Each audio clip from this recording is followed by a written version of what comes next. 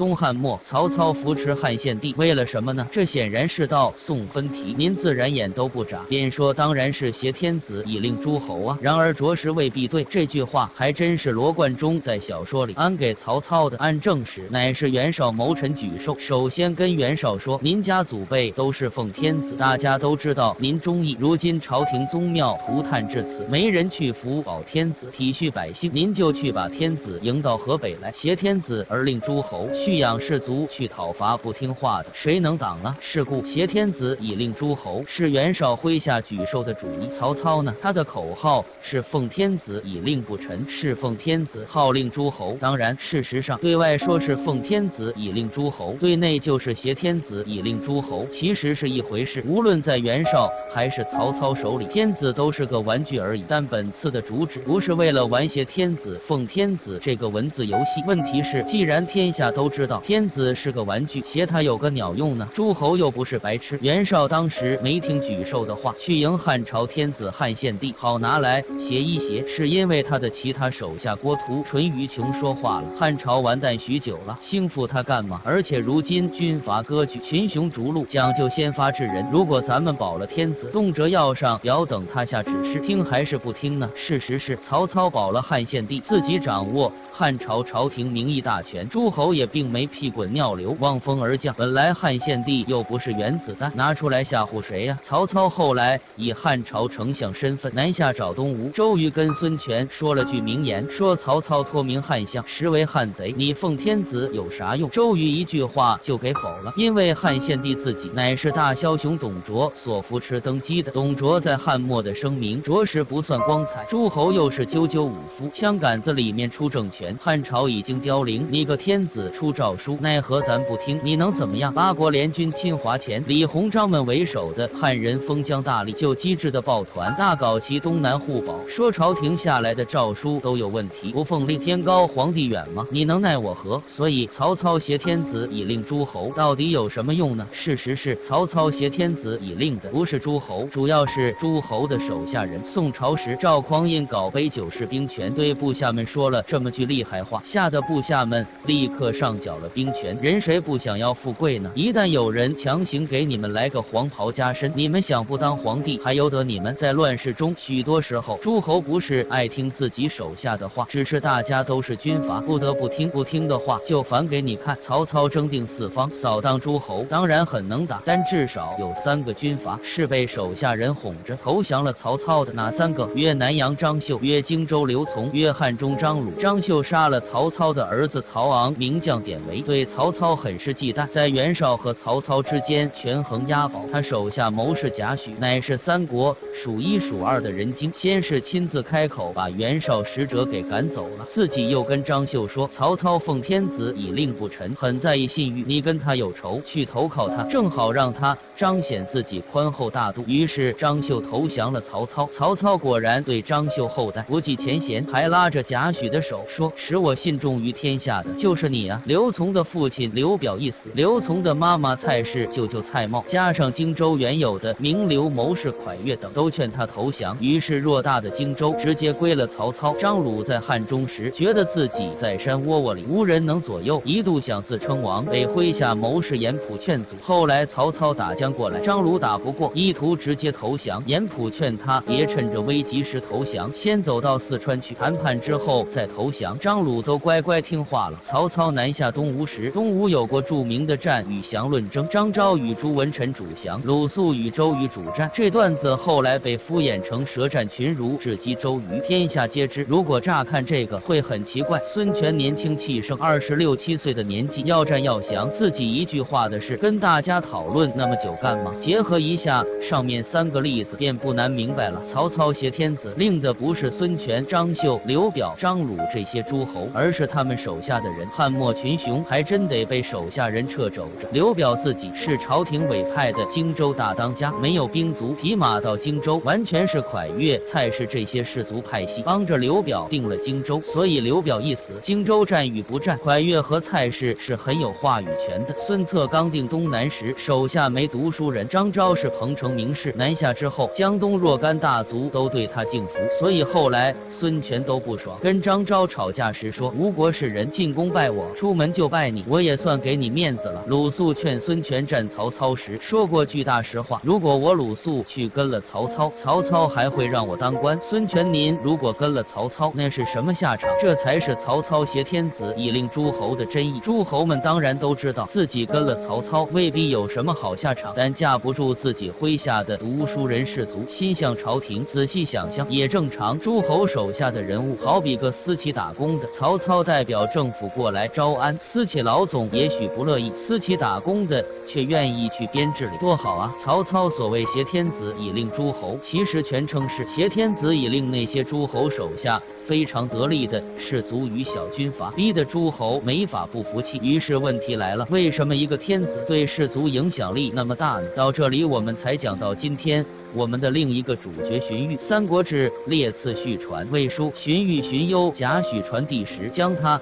他侄子荀攸和刚才提到的贾诩合传列为曹操首席三大谋士。荀彧排第一，在曹操所有非曹姓宗族里排名第一。荀彧自己容貌俊美，爱佩香囊。曹植说他冰清玉洁，司马懿说他书传的古人我不知道，反正近百十年来我见过的贤人没超过荀令君的。曹操直接说他无。之子房比作张良，是当时第一等人物。但细读正史，很是微妙。你会发现，荀彧并不怎么跟曹操上战场。曹操身边的谋士荀攸、贾诩、郭嘉等负责日常进言，荀彧常镇守后方，跟曹操通信。著名的官渡之战，曹操跟袁绍相持比较困难，写信给荀彧问怎么办。荀彧跟他说什么扼其喉而不得进，已经半年了，应该用齐了等等，看似就是个书信鼓励，给个大方针而已。荀彧究竟是干什么的呢？曹操的后方第二中央主持日常工作，写信鼓励鼓励曹操，也不这么简单。东汉的士族多出汝南和颍川两地，汝南是袁绍家为尊，所谓四世三公，代代都要进中央的。荀氏则是颍川帮的大家，荀彧和沮授几乎同时提出迎立汉献帝的主旨。在迎了汉献帝后，荀彧成了尚书令及天子的秘书，可以说荀彧等于是汉献帝与曹操之间的一道桥梁。此外，他又举荐了大批人物给曹操，诸如郭嘉、钟繇、陈群、司马懿、荀攸等。妙在荀彧介绍的这批才子大多是颍川士族，于是就形成了曹操手下一个颍川士族集团。由于荀彧的缘故，颍川是曹操最关键的后台。官渡之战，荀彧可不止写信鼓励曹操，后来曹丕登基，很快就给颍川郡许多福利，理由是官渡之战时，曹操其他地方都不听命令了，只有颍川老弱。都帮忙输送粮食，真是大魏国的根本啊！当然，荀彧与颍川士族集团还不只是帮忙输输粮。曹操争定天下，有武的一手，那就是他自己能打；也有文的一手，那就是荀彧为首的士族集团。本来曹操在读书人那里不算有面子，父亲曹嵩是头托宦官门下的，很没面子。但因为荀彧与他手下那批人与汉朝天子一结合，形成了一个士族班子，这对其他诸侯门下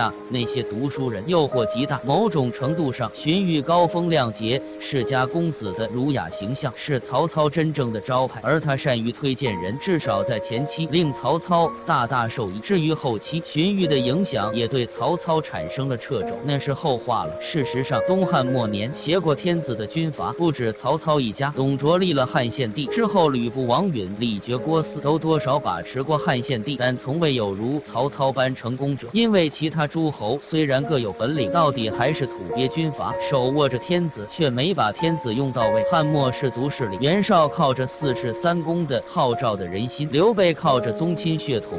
和个人魅力奔走天下，东吴得靠诸顾不禄等宗族，加上张昭这些北方士大夫镇场。曹操所以独出众，在于他前期依靠荀彧为首的颍川士族集团，加上汉朝天子，形成了一个美丽的核心。这个士族核心对土鳖军阀也许没有震慑作用，但对军阀手下那些办事的读书人却大有感召力。所以曹操平了北方后，录前后功劳，要给荀彧封万岁亭侯，表彰的。第一句就是思虑智谋，应该首先受赏。战争的功绩抵不上朝堂国家的勋劳啊！荀彧当然要推辞，但曹操给他写信说：“我和你共事以来，创立朝廷，你帮着匡弼，帮着举荐人才，帮着出谋划策，也真太多了。某种程度上，荀彧已经不是曹操的谋士，而是曹操的合伙人。他不只是日理万机，处理日常工作，他还为曹操团结着一个能感召士大夫的中央。没了他，曹操奉立天子，效果怕要差很多。荀彧后来死的也比较微妙，《三国志》里明写曹操要当魏公，荀彧不赞同。之后曹操南征，把荀彧留在寿春，荀彧忧虑而死。次年，曹操就当了魏公，其中意味不难明白。各色注引语《后汉书》更是八卦，说曹操如何给荀彧送了个空盒，暗示他自杀等等。反正曹操要当魏公，荀彧不答应。曹操把荀彧留在寿春，也许送了空盒子。荀彧死，曹操当了魏公，这个流程是没问题的。但这里面细想也很微妙。按曹操平定北方后，势力当然姓曹，但都城许昌乃是荀彧管事，军师参谋长是荀彧的侄子荀攸，管冀州的也是荀家的人。曹操未必多开心。之后，曹操就出了著名的求贤令，要求各色人等无论品德如何，只要有才就能当官。考虑到先前朝廷的干部都是荀彧的人，曹操这么做的目的不难明白，要换荀彧的班子了。所以以荀彧自尽动机其实也不难解释，他与曹操彼此扶持的关系似乎也是到尽头了。当然，那是另一个故事了。在敌对方看来，曹操这个大奸臣确实是挟天子以令诸侯，但至少在荀彧活着时，汉朝还有点尊严。中荀彧一事本来已经被郭图们判了死刑的汉朝，名义又续了二十多年命，连曹操自己也吹嘘过，如果天下无他，不知多少人称孤称王。至少在荀彧活着的时候，汉朝还在，天子还被奉立着，除了昙花一现的袁术外，没有人称帝称王。到他死时，乱世也算收拾的差不多了。以荀彧自己的身份，他与那些被他感召的士族，确实也算做到奉天子以令不臣了。他为汉献帝点了汉朝最后一盏灯，感召了军阀属下各色人等，至少在名义上又回到了汉朝羽翼之下。所以曹操与他失和也是必然，他的存在感太强了。如前所述，荀彧不只是是曹操的谋士，曹操的总理，还是曹操的合伙人。当平天下时，他和曹操共同利益；到曹操露出野心时，利益就有冲突了。他死后，曹操称公称王，三国各自称帝，那是他无法控制的事了。苏轼如是说：“以仁义救天下，天下既平，神气自治，将不得已而受之，不治不取也。此文王之道，文若之心也。及操谋久息，则文若死之。故吾常以文若为圣人之徒者，以其才似张子房而道似伯夷那些追随他的士卒，也是因为相信了他而投身于曹氏的。荀彧就这样。”